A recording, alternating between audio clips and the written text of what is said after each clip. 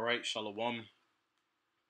First and foremost, I want to give all praises, honor, and glory to Yahweh, Bahashem Yahushai, Bahashem Wadash, and double honors to the elder apostles of Great Millstone who rule well, and salutations to the elect. Okay, all you brothers and sisters out there, are, are you uh, members of Yahweh Bahashem Yahushai's remnant of the house of Israel? All right, wherever you may be. This is Brother Lawya from Great Millstone, Miami. And um, hey man, I want to do a, a, lesson on you know miracles, man. All right, and um, in this lesson, I'm gonna hit it from a, a certain angle. I'm gonna go into it from a certain angle, um, based off of you know the current um, Mississippi water crisis. Okay, in Jackson, Mississippi. You know, as it's been uh, you know being uh, told in the recent news, you know, the people who live in Jackson, Mississippi, uh, don't have access to, uh, you know, clean water. All right, they turn on their water faucets and uh, contaminated, dirty water comes out. Okay, so they're not able to shower, uh, cook oftentimes, um, you know, have access to clean, so-called clean um, water you know, through the pipes and faucets that run through their house. So, uh, you know, they've been having to uh, get, you know, water from uh, Esau's, um, you know, distribution stores such as, you know, the local grocery stores, Walmart and stuff like that. Um, you know, and so that's what's going on over there. All right. And we know, um, you know, it's all, of course, uh, set up by Yahweh Shemal Shai through Esau. Okay. All right. We know that Esau sets these things up to put hell on our people all right, and to have our people run to him for help. Okay. Um, but you know, with all of that being said, as I was thinking about uh, recently, as I was thinking about this uh, whole water crisis situation, um, you know, the spirit kind of led me to think about different instances in the scriptures where our people were in situations where the water that they had access to was contaminated. Okay. All right, and that's why I say uh, this lesson is going to be about miracles uh, from this angle because, hey, we read in the scriptures during the time of Moses and even during the time of Elisha, you know, where our people were in an area where the water was contaminated and the Lord used uh, prophets, okay, men of the Lord, to purify the water so that they could drink, okay. All right, and um, you know, just other scenarios as well. You know, um, this is just one example that I could use. Oh, Salakia. Uh, this is just one example that I could use. Um, you know, of, of you know water. A situation with water. Okay, there were also other situations where you know our people were in areas where there was no water. Okay, and the Lord you know, through a prophet, um, you know, performed a miracle so that water could be accessible uh, for them to drink. Okay. And as the scriptures say, man, you know, my servant shall drink. All right. And that's in Isaiah 65 and um, verse 13. One second.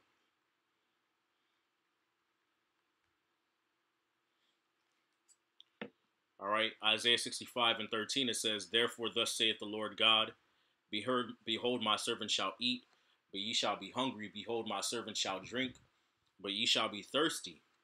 Behold, my servant shall rejoice, but ye shall be ashamed. Okay?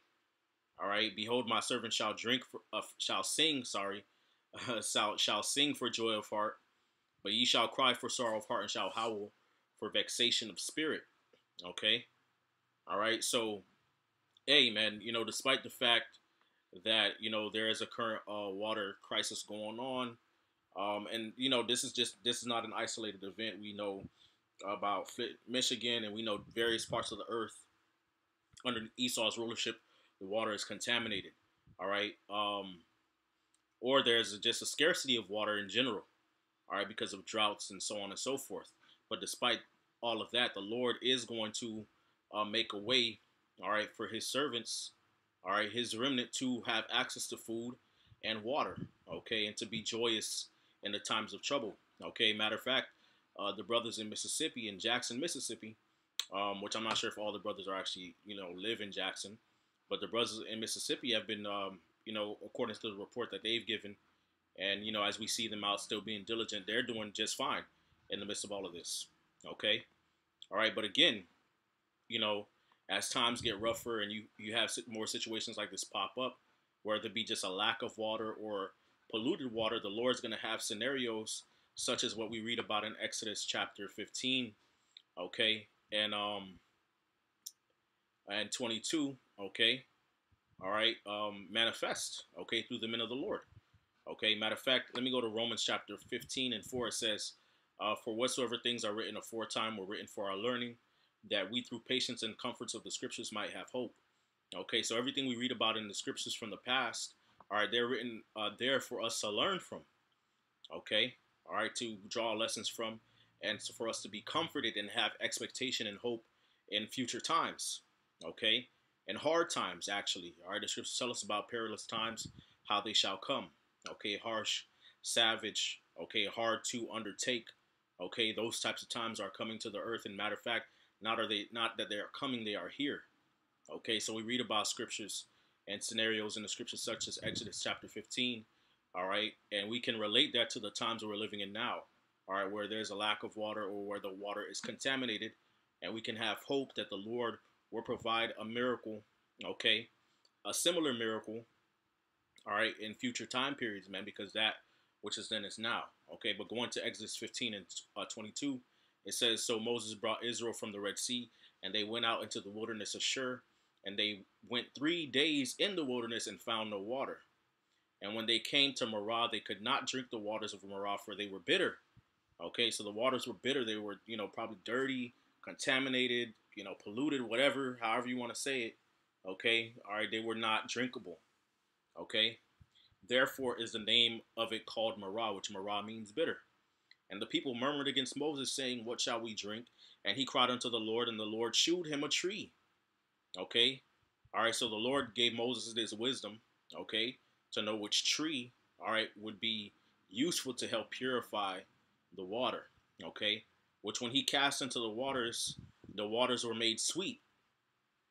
There he made for them a statute and an ordinance, and there he proved them, and said, If thou wilt diligently hearken unto the voice of the Lord thy God, and will do that which is right in his sight, and will give ear to his commandment, and keep all his statutes, I will put none of these diseases upon thee, which I have brought upon the Egyptians, for I am the Lord that healeth you. Okay? All right. So the Lord gave Moses this wisdom, all right, to use a tree, okay? all right, a certain tree, a certain plant, okay, to help purify and sweeten the water that was bitter so that Israel could drink, all right, while they were in this wilderness where there was no water, okay, where water where water was scarce, okay, and situations like this going to help fulfill the scripture, you know, um, where it is written, okay, in Isaiah chapter 10, all right, um, Isaiah chapter 10 and um, verse 20, it says, And it shall come to pass in that day that the remnant of Israel and such as are escaped of the house of Jacob shall no more again stay upon him that smote them, but they shall stay upon the Lord, the Holy One of Israel, in truth. Okay? All right, so when situations start getting tough, hey, the Lord's going to provide a way for our people to be sustained so they don't have to rely and depend, okay, on their allies who seek to destroy them. Okay? All right? In this case, Esau, Edom all right, as they're as our people are doing now. Okay, going to Esau for water, you know, for clean water. Hey, in the times to come, hey, the Lord's gonna make a way to where, you know, we don't have to uh, go to Esau, you know, to pr- to prepare or to sustain ourselves in situations like this. Now the Lord's gonna perform miracles and mighty deeds and works so that we can be, uh, you know, you know, sustained without Esau's influence in his hand. Okay. All right. This is Isaiah 10 and 20 in the NLT, the New Living Translation. I believe that's um, what that stands for. It says, And that day the remnant left in Israel and the survivors in the house of Jacob will no longer depend on allies who seek to destroy them, but they, they will faithfully trust the Lord, the Holy One of Israel. Okay? Now let's go to Second Kings uh, chapter uh, 2. Okay? All right. Um, and and I'll just go to uh, verse 19. All right, it says, And the men of the city said to Elisha, now this is after Elijah was taken up, and Elisha is his understudy, his successor, right? All right, so the Lord is about to perform a work through Elisha, all right, to show that he's dealing with Elisha, okay? All right, it says, And the men of the city said unto Elisha, Behold, I pray thee, I pray thee, the situation of the city is pleasant, as my Lord seeth, but the water is not, and the ground is barren. Okay, all right. So now people are coming to Elisha because Elisha's the, the main prophet now. All right, like they used to go to Elijah for different situations. Now they're going to Elisha. Okay, so they're come really coming to him because hey, they're like, you know, hey, this city, it's a nice city, looks beautiful, you know, but the water, you know, it's bad. You know, the land doesn't bear any fruit. You know, you know, uh, how would I say? You know, hey, work, you know, work, work a miracle or something. Help us out. you know how Jake is. and in, in, verse 20 it says, and he said, uh, bring me a cruse and put salt therein, and they brought it to him. And he went forth unto the springs of the waters and cast the salt therein and said, Thus saith the Lord, I have healed these waters. There shall not be from thence any more death or barren in the land. So the waters were healed unto this day, according to the saying of Elisha, which he spake. Okay, so there you go, man. All right, the Lord um, gave Elisha the wisdom. All right, um, all right, and, and, and Elisha prayed. All right, he called, you know, he called upon the Lord, I'm sure. All right, and the Lord worked through Elisha so that the water could be healed and purified. All right, so that the water could be purified, so that the land uh, would be uh, would no more be barren. Okay, so the water would not be contaminated again, man. Okay, so situations like this are gonna happen. I believe in these last days, man. You know, and it's a it may that may very well be why the brother why the brothers in Mississippi are stationed there. You never know, amongst many other reasons, man. Okay, all right. You know, we got to really think big uh, concerning this faith. All right, hey, anything is possible with the Lord, man. We don't these scriptures and these accounts in the scriptures, you know, are not just written there just for us to read and that's it, man. Okay, all right. We we a we serve a, we serve a, a power a that that is great beyond, you know, the the the, the might of man. Okay, all right. The Lord created water. Okay, all right. He created heat. He created snow. Are all these different elements, man, and a you know, a through the spirit and power of Yahweh Shai, the Lord can use his men and pour out his spirit upon men, all right, to have mastery over these elements too, all right, for the benefit of the body and ultimately for the praise of Yahweh Shai. Okay, all right, Second Ezra chapter one, verse twenty-two. It says, "Thus saith the Almighty Lord: When you were in the wilderness, uh, in the rivers of the Amorites, being athirst and blaspheme my name, I gave you not fire for your blasphemies, but cast a tree in the water and made the river sweet." Okay. All right. So there you go, man. All right, the Lord. This this is the things the Lord did for us, man, and used to do for us, and he, you know, He's gonna do things like that again, man. Okay. All right. That's why the scripture say many saviors. Okay. That's why the script, that's why Yahweh Shai said, um, "Greater work shall you do because I go into my Father." That's why these things are written, man. Okay. All right. The works that I do shall you do also. All right. These shall be the signs that shall follow them that you know believe on my name. That's all there for a reason, man. Okay. See.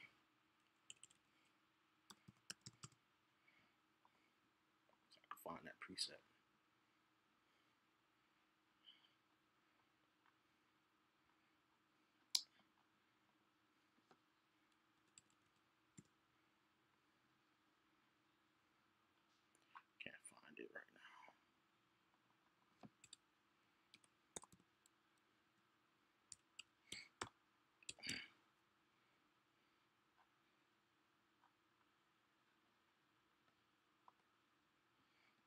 Ecclesiastes chapter 3, verse 15, it says, That which hath been is now, and that which is to be hath already been, and God required that which is past. Okay. Um, I'm gonna close out with this Matthew chapter 6, verse 19. All right, it says, And I will give unto thee the kingdom of heaven, and whatsoever thou shalt bind on earth shall be bound in heaven, and whatsoever thou shalt loose on earth shall be loosed in heaven. Okay, all right. Now, Yahweh Shai spoke this unto uh, Peter, okay, all right, which we believe that Peter is a King David and the reincarnation. Okay, all right, and a the scriptures talk about the house of David, the tabernacle of David, uh, David being risen up. Okay, all right, and a the prophets have a, a certain favor with the Lord. Okay, a Lord, a Yahweh said, "Whatsoever you shall ask in my name, that will I do, man. If you abide in me and my words abide in you, ye shall ask what ye will, and it shall be done unto you." Okay, all right. Um, Revelation chapter 11 says, These have power to shut heaven, that rain not in the days of their prophecy. Okay. All right. So you're going to have uh, situations where, yes, the Lord's going to give brother spiritual power to, to bring plagues upon the earth or plagues upon people. Okay. And in other cases, the Lord's going to have it to where the, uh, you know, brothers pray to remove plagues off of people. And again, scriptures, there's plenty of scriptures on that, on that, plenty of scriptures on that. Okay. All right. Uh, for example, um, you got Moses in, in the Exodus. All right, the Exodus story where, you know, the Lord had used him to bring forth plagues upon Egypt. And then he prayed and the plagues were taken away. Okay, so all of that being said, man, a Lord willing, this video was edifying, man. Just wanted to put that out there, man. It's been on my spirit for a minute to uh, hop into this lesson. I just been a bit um, under the weather, but a hey, call Loyam Laya Bashim Shai. Bahashim Chakwadash. Uh, regardless, man, the Lord is gonna get uh, is going to do mighty works in these last days, man. Okay, all right. So I just wanted to put that spirit out there, man. You know, um, think big, man. Think big, Yasharala. All right, nothing's impossible with the Lord. Um, hey, and Shalom, Yabashim Yawshai, Bashim Kakadash Barakatham. Uh, call Allah Yim Bashim Yawshai. Double honors to the elder apostles, great millstone. And salutations to the elect. Kwame Yasharala and ball.